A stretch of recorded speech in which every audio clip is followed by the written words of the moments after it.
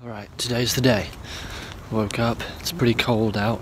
Not super cold, but cold enough for Florida. Got mad allergies, my eyeballs are itching, congested.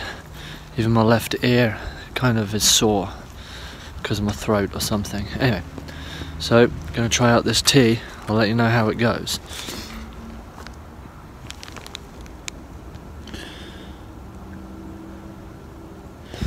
Alright, Nice. there's the tea. Looks really nice. I'm pour it in here because I don't have a tea bag or any kind of tea vessel. So you have to make fucking do with that. Just sip around it. Alright. I'll let it sit for about 10 minutes there, boys. Now, I've got this paint strainer. So that way, I ain't got a tea bag, so you got to use paint strainer. There you go.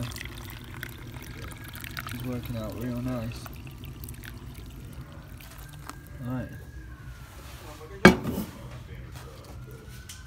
yeah, that's what's up. Mm, really, really nice. Tastes like peppermint. And uh, mainly peppermint. And that's about the only taste I can taste. But smells real nice too, just like peppermint. I give it a win-win as of right now. Alright, so it's been about 30 minutes now.